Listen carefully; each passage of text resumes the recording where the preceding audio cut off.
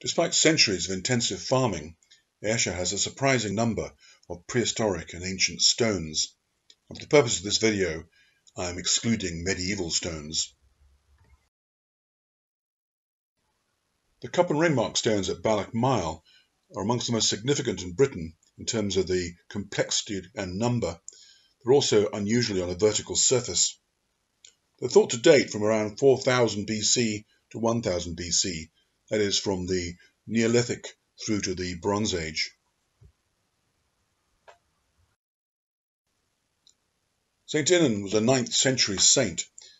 This is probably a modified natural feature. He's said to have preached from here and converted the locals to Christianity.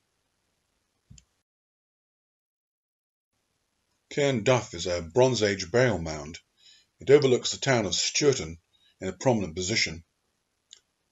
It's reckoned to be around 3,000 years old, and when first discovered, it contained a number of urns which had bones and ashes within them as a result of cremation.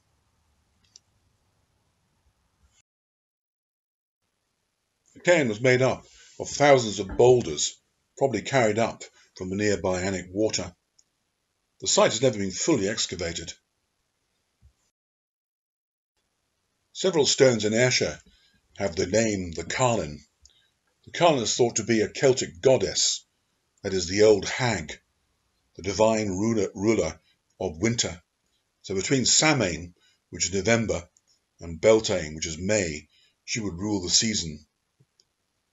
The sign of her weakening power would be the signs of the coming of spring.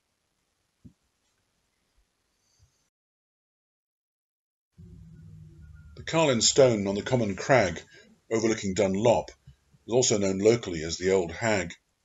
There's another Carlin Stone on Whitelee Moor, a very conspicuous large boulder. Place names contain the word cat may derive from the Scottish wildcat. However, a number of others are thought to come from a Celtic word meaning a battle or a burial site. The cat stone near Dalry is said to have been the site of a battle. It's also thought that maybe these very prominent stones were used as rallying points where troops would assemble prior to warfare.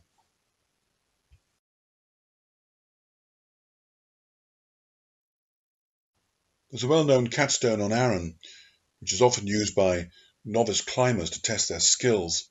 It's said to mark the site of a skirmish.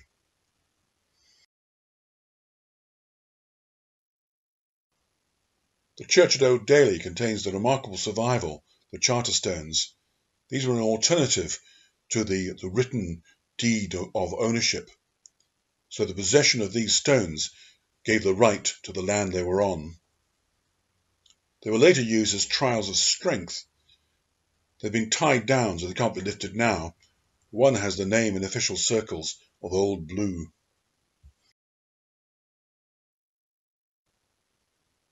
On Cuff Hill, overlooking Beith, there is a Logan or rocking stone. Originally a glacial erratic, carried and left here after the last glaciation in a position when, where when it was pushed it would slightly move. One of the most fanciful suggestions is this was used by druidic priests who would be asked a question, put the stone into motion, and would interpret its motions as an answer.